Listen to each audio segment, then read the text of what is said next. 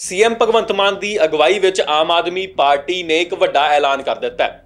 ਇੱਕ ਵੱਡਾ ਐਲਾਨ ਇਹ ਕੀਤਾ ਹੈ ਕਿ ਹੁਣ 2047 ਤੱਕ ਦਾ ਬਿਊਰਾ ਪੇਸ਼ ਕਰ ਦਿੱਤਾ ਹੈ। 2047 ਤੱਕ ਦਾ ਰੋਡ ਮੈਪ ਤਿਆਰ ਕਰ ਦਿੱਤਾ ਗਿਆ ਕਿਸ ਤਰ੍ਹਾਂ ਆਮ ਆਦਮੀ ਪਾਰਟੀ ਦੀ ਸਰਕਾਰ ਪੰਜਾਬ ਨੂੰ ਪ੍ਰਗਤੀ ਦੇ ਰਾਹ ਤੇ ਤੋਰੇਗੀ, ਤਰੱਕੀ ਦੇ ਰਾਹ ਤੇ ਤੋਰੇਗੀ, ਪ੍ਰਗਤੀਸ਼ੀਲ ਦੱਸਿਆ ਗਿਆ ਹੈ ਇਸ ਪਲਾਨ ਨੂੰ, ਇਸ ਪ੍ਰੋਜੈਕਟ ਨੂੰ 2047 ਤੱਕ ਦਾ ਬਿਊਰਾ ਪੇਸ਼ ਕਰ ਦਿੱਤਾ ਗਿਆ ਸਾਹਮਣੇ ਲਿਆਂਦਾ ਗਿਆ ਹੈ, ਰੋਡ ਮੈਪ ਤਿਆਰ ਕਰਕੇ ਤੇ ਉਸ ਨੂੰ ਲਿਆਂਦਾ ਗਿਆ ਪੰਜਾਬ ਸਰਕਾਰ ਵੱਲੋਂ ਇੱਕ ਵੱਡਾ ਉਪਰਾਲਾ ਪੰਜਾਬ ਦੇ ਹਿੱਤ ਵਾਸਤੇ ਕੀਤਾ ਗਿਆ। ਦੱਸ ਦਈਏ ਕਿ ਇੱਕ ਪ੍ਰੋਪਰ ਪਰਫਾਰਮਾ ਬਣਾਇਆ ਗਿਆ ਉਸ ਦੇ ਵਿੱਚ ਰੋਡ ਮੈਪ ਤਿਆਰ ਕੀਤਾ ਗਿਆ। ਇਸ ਰੋਡ ਮੈਪ ਦੇ ਵਿੱਚ 16 ਵਿਭਾਗੀ ਸੈਕਸ਼ਨਸ ਨੇ ਔਰ ਇਹਨਾਂ ਦੇ ਇਹਨਾਂ ਸੈਕਸ਼ਨਸ ਦੇ ਵੀ ਅੱਗੇ ਸਬ ਸੈਕਸ਼ਨਸ ਨੇ ਜਿਨ੍ਹਾਂ ਦੇ ਵਿੱਚ ਸਾਰਾ ਪਲਾਨ ਵਿਸਥਾਰਪੂਰਵਕ ਦੱਸਿਆ ਹੋਇਆ। ਵੱਖ-ਵੱਖ ਵਿਭਾਗ ਜਿਹੜੇ ਨੇ, ਹਰ ਇੱਕ ਵਿਭਾਗ ਦੇ ਵਿੱਚ ਪੇਸ਼ ਆਉਣ ਵਾਲੀਆਂ ਚੁਣੌਤੀਆਂ ਜਿਹੜੀਆਂ ਨੇ, ਉਹਨਾਂ ਨੂੰ ਨਜਿੱਠਣ ਦਾ ਹੱਲ ਕੱਢਿਆ ਗਿਆ ਹੈ ਤੇ ਉਹਨਾਂ ਉਸੇ ਰੋਡ ਮੈਪ ਦੇ ਉੱਤੇ ਤੁਰ ਕੇ ਪੰਜਾਬ ਨੂੰ ਤਰੱਕੀ ਦੇ ਰਾਹ ਤੇ ਪਾਉਣ ਦਾ ਹੁਣ ਉਪਰਾਲਾ ਕੀਤਾ ਜਾਵੇਗਾ।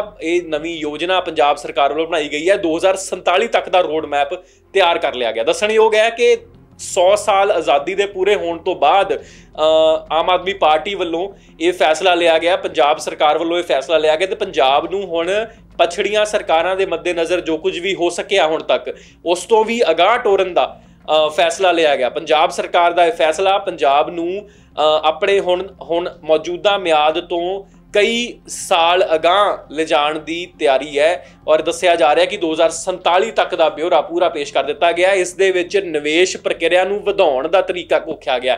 ਨਿਵੇਸ਼ ਪ੍ਰਕਿਰਿਆ ਕਿੱਦਾਂ ਵਧਾਈ ਜਾਵੇ? ਨਿਵੇਸ਼ ਲਿਆ ਕੇ ਪੰਜਾਬ ਦੇ ਅੰਦਰ ਤੇ ਇੱਕ ਸਟਾਰਟਅਪ ਇਕੋਸਿਸਟਮ ਕਿੱਦਾਂ ਬਣਾਇਆ ਜਾਵੇ? ਇਸ ਉੱਤੇ ਜਿਹੜੀ ਹੈ ਉਹ ਵਿਸ਼ੇਸ਼ ਤੌਰ ਤੌਰ ਤੇ ਜਿਹੜੀ ਚਰਚਾ ਕੀਤੀ ਗਈ ਹੈ ਔਰ ਇਸ ਦੇ ਵਿੱਚ ਦਰਜ ਵੀ ਕੀਤਾ ਗਿਆ। ਦੱਸ ਦਈਏ ਕਿ ਜੇ ਇਸ ਰੋਡ ਮੈਪ ਦੀ ਮੰਨੀਏ ਤੇ ਪੰਜਾਬ ਸਰਕਾਰ ਜੇ ਇਸੇ ਰੋਡ ਮੈਪ ਦੇ ਮੱਦੇਨਜ਼ਰ ਚੱਲੇ ਤਾਂ 2030 ਤੱਕ ਆਉਂਦੇ ਆਉਂਦੇ ਨਿਵੇਸ਼ ਪ੍ਰਕਿਰਿਆ ਜਿਹੜੀ ਹੈ ਉਹ 25% ਤੱਕ ਵੱਧ ਜਾਵੇਗੀ। ਜਦਕਿ ਜੇ 2047 ਦੀ ਗੱਲ ਕਰੀਏ ਤਾਂ ਉੱਥੇ ਆਂਦੇ ਆਂਦੇ ਇਹ ਨਿਵੇਸ਼ ਪ੍ਰਕਿਰਿਆ 32% ਵੱਧ ਜਾਵੇਗੀ ਪੰਜਾਬ ਦੇ ਅੰਦਰ ਔਰ ਇਸ ਨਿਵੇਸ਼ ਪ੍ਰਕਿਰਿਆ ਦੇ ਮੱਦੇਨਜ਼ਰ ਪੰਜਾਬ ਦਾ, ਪੰਜਾਬ ਦੇ ਨੌਜਵਾਨਾਂ ਦਾ ਸਰਪੱਖੀ ਵਿਪਾ- ਵਿਕਾਸ ਜਿਹੜਾ ਉਹ ਹੋ ਸਕੇਗਾ। ਇਸ ਤੋਂ ਇਲਾਵਾ ਜੇ ਆਮ ਆਦਮੀ ਪਾਰਟੀ ਦੀ ਸਰਕਾਰ ਦਾ, ਪੰਜਾਬ ਸਰਕਾਰ ਦਾ ਕਿਹਾ ਮੰਨੀਏ ਉਹਨਾਂ ਦਾ ਪਲਾਨ ਮੰਨੀਏ, ਉਹਨਾਂ ਦੇ ਉਹਨਾਂ ਦੇ ਬਿਆਨ ਤੇ ਗੌਰ ਕਰੀਏ ਤਾਂ ਸਾਫ਼ ਕਿਹਾ ਹੈ ਕਿ ਪੰਜਾਬ ਦੇ ਅੰਦਰ ਨਿਵੇਸ਼ ਇਕੋਸਿਸਟਮ ਜਿਹੜਾ ਹੈਗਾ, ਇੱਕ ਸਟਾਰਟਅਪ ਇਕੋਸਿਸਟਮ ਜਿਹੜਾ ਹੁੰਦਾ, ਉਹਨੂੰ ਲਿਆਉਣ ਦੀ ਤੇ ਉਹਨੂੰ ਪ੍ਰਫੁੱਲਤ ਕਰਨ ਦੀ ਯੋਜਨਾ ਪੰਜਾਬ ਸਰਕਾਰ ਦੀ ਹੈਗੀ ਹੈ ਕਿਉਂਕਿ ਘਰ ਘਰ ਜਿਹੜਾ ਉਦਯੋਗ ਹੋਣਾ ਬਹੁਤ ਜ਼ਰੂਰੀ ਹੈ, ਘਰ ਘਰ ਬਿਜ਼ਨਸ ਹੋਣਾ ਬਹੁਤ ਜ਼ਰੂਰੀ ਹੈ ਤਾਂ ਕਿ ਇੱਕ ਛੋਟਾ ਬਿਜ਼ਨਸ ਹੋ ਕੇ ਤੇ ਆਮ ਆਦਮੀ ਪਾਰਟੀ ਜਿਹੜੀ ਹੈਗੀ ਹੈ, ਉਹ ਆਮ ਲੋਕਾਂ ਦੇ ਵਾਸਤੇ ਇੱਕ ਇਹੋ ਜਿਹਾ ਇਕੋਸਿਸਟਮ ਬਣਾ ਸਕੇ ਜਿਹਦੇ ਨਾਲ ਲੋਕ ਸੈਲਫ EMPLOYED ਹੋਣ, ਨਾ ਕਿ ਬਾਕੀ ਕਿਸੇ ਹੋਰ ਦੇ ਉੱਤੇ ਨਿਰਭਰ ਹੋਣ ਕਿ ਕਿਸੇ ਹੋਰ ਦੇ ਕੋਲ ਜਾ ਕੇ ਅਸੀਂ EMPLOYMENT ਲਈਏ। ਇਹੋ ਜਿਹਾ ਇਕੋਸਿਸਟਮ ਪੰਜਾਬ ਸਰਕਾਰ ਪੰਜਾਬ ਦੇ ਵਿੱਚ ਬਣਾਉਣਾ ਲੋਚ ਰਹੀ ਹੈ ਰੋਡ ਮੈਪ ਤਿਆਰ ਕੀਤਾ ਗਿਆ।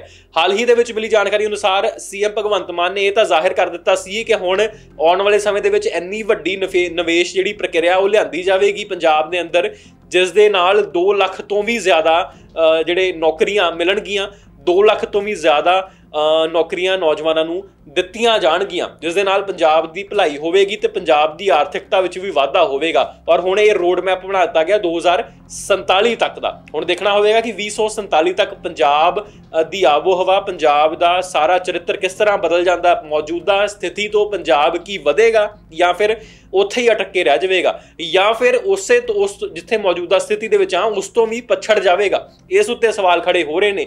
ਜੋ ਕੁਝ ਵੀ ਹੋਏਗਾ, ਦੱਸਦੇ ਰਵਾਂਗੇ। ਬਨੇ ਰੋਵਾਨ ਇੰਡੀਆ ਪੰਜਾਬੀ ਤੇ। Subscribe to One India channel and never miss an update.